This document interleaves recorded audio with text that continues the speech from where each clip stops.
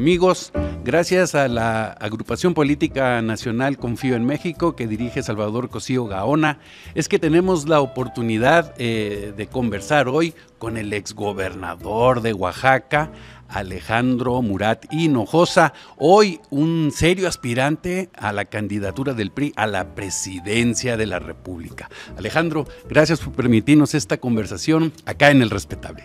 Al revés, Bruno, agradecerte a ti y a todo el auditorio del respetable esta gran oportunidad. Alejandro, yo quisiera uh, empezar por una pregunta muy sencilla y inocente. ¿Tú eres conservador? Yo soy mexicano y por eso estoy aquí. Porque quiero ser presidente y como mexicano trabajar por todas y por todos.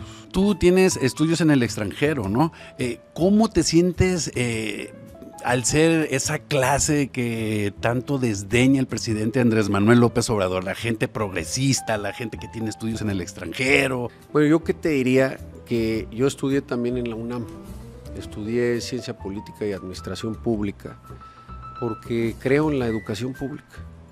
Eh, tuve la oportunidad de tener las dos visiones y sin duda siempre te va a retroalimentar, pero para que podamos acabar con esas distinciones, lo que yo estoy planteando es que haya educación de calidad. ¿Y sabes cómo? Como lo hace tu medio, con la digitalización de la educación. Que en todas las escuelas de este país de básico, de medio superior y superior, eh, las niñas, los niños, los jóvenes tengan acceso al instrumento más importante y que ir a un sector privado o a un sector público realmente sea un tema de gusto, pero que tengamos las mismas herramientas y lo más importante, las mismas oportunidades. Alejandro, has estado recorriendo el país. ¿Cuál es el análisis que tienes del país? ¿Cómo vamos? De eso se trata estar hoy aquí, te lo agradezco, de cambiar la agenda. Porque hoy hay una agenda pues todas las mañanas, pero no es la agenda que le interesa al ciudadano. Y para eso estamos aquí, para poder resolver el problema que hoy es la demanda universal en este país, que es la inseguridad. Perdimos la capacidad de asombro, aceptamos lo inaceptable. Oye, fíjate que cuando todos hablan de inseguridad y del narco y de todo esto, la verdad es que todo el mundo sabe dónde están, la verdad es que todo el mundo conoce a su vecino, pero ahí sigue, no pasa nada. ¿Por qué? ¿Y cuál sería tu propuesta al respecto? Exacto, y no es la cantaleta de siempre, ¿eh? No es la Guardia Nacional, la Fuerza Civil, porque ninguna sirvió, aunque yo estoy a favor de una eh, fuerza civil en el mediano y largo plazo. Es con una reforma en la ley. Hoy tenemos un sistema de leyes válidas, pero que no son eficaces. Y yo estoy planteando una reforma al sistema procesal penal acusatorio y a la ley de delincuencia organizada, que es hacia donde se ha movido la delincuencia organizada. El cobro de piso, el levantón, la extorsión. Bueno, ahora ya son empresarios. Y como bien dices, no pasa nada, porque tenemos leyes que están hechas para no detener a nadie y para que cuando los detenga salgan. Con esta reforma vamos a poder cambiar rápidamente esa realidad, enfrentar la impunidad, que es lo que lacera a México, y tener cero tolerancia, que haya sentencias y que los que tengan miedo sean ellos, no nosotros. ¿Tú no tienes miedo de entrarle? ¿Sería mano dura contra el crimen organizado? ¿Sabes desde cuándo se hizo esta reforma? 2008. Hicimos una ley que te dice, sí se puede ser delincuente, sí se puede hacer negocio y franquicia de la delincuencia organizada. Y hasta que eso no cambie, no va a cambiar nada. Déjame ponerte el ejemplo. García Luna está de moda, ¿no? Y yo les digo que la tragedia de García Luna no es solo que se llevó su juicio fuera del país, es que todas y todos vimos una sentencia. ¿Cuándo has visto una sentencia en México? ¿Por qué cuando vas a la frontera no tiras basura, no te pasas el alto? Porque no hay impunidad, Bruno. Y lo que tenemos que hacer aquí es que no hay impunidad. ¿Cómo te gustaría a ti que nos vieran desde el extranjero? Como ese país honesto que rinde cuentas y que entiende que el poder no sirve si no sirve a la gente. Eres, eh, bueno, de los aspirantes, digamos que un aspirante joven dentro del PRI, pero ¿ves que hay futuro en el PRI de Alejandro Moreno, Alito? Te voy a decir en dónde hay futuro, en la sociedad civil. Yo te diría que todos los partidos eh, tenemos fortalezas y tenemos debilidades, pero lo importante es entender que hoy las y los protagonistas de este México es la sociedad civil.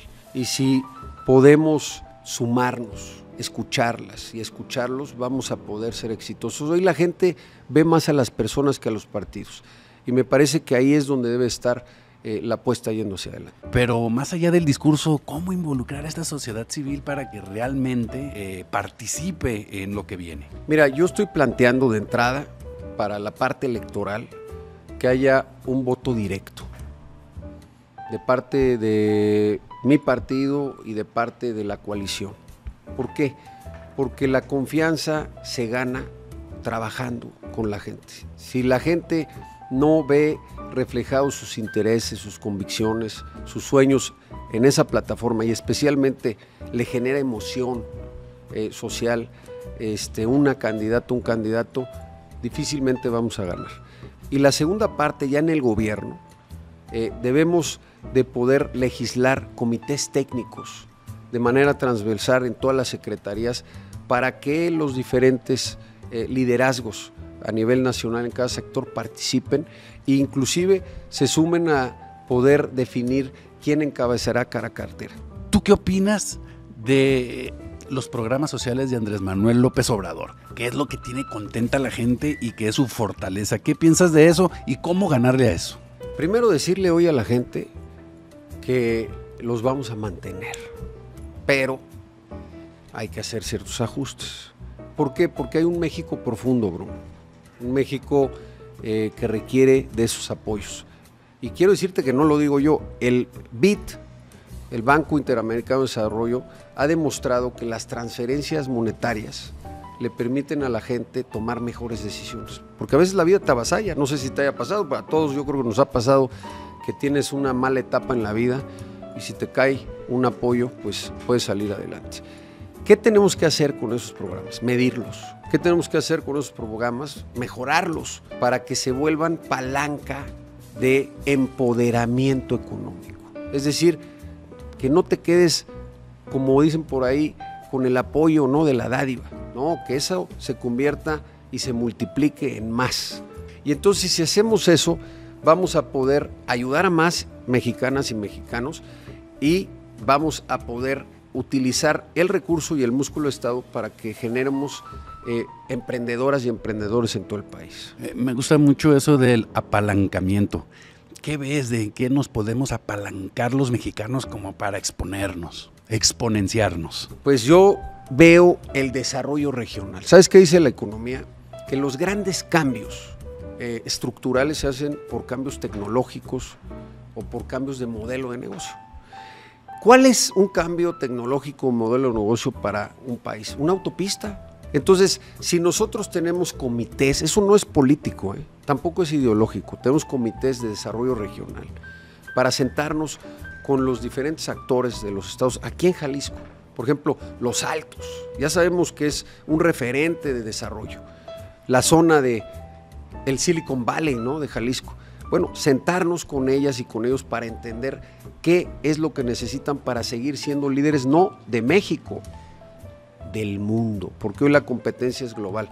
Y si hacemos eso, entonces da saltos cuánticos para el país. ¿Te sientes eh, con la capacidad para encabezar una eventual alianza, alianza eh, rumbo a la presidencia de la República? ¿Y cómo te sentirías en esa alianza? Estoy absolutamente convencido de que soy la mejor alternativa para la alianza. Y por supuesto para hacer este gran movimiento que tiene que ver con la sociedad civil, pero especialmente con México. Y me sentiría feliz, contento, pero con la gran responsabilidad de primero ganar y después rendir cuentas y dar resultado. Así que hoy, como les digo, no es solo esto, es esto. ¿Y sabes qué es lo que te mueve? La pasión por México.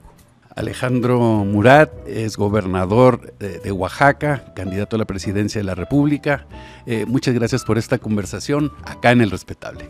Al revés, Bruno, agradecerte mucho esta oportunidad a ti, a todo tu amable auditorio y ojalá y podemos seguir con esta gran conversación. Y lo más importante, como me lo dijiste, el respetable cambia la agenda, así que cambiemos la agenda a favor de México.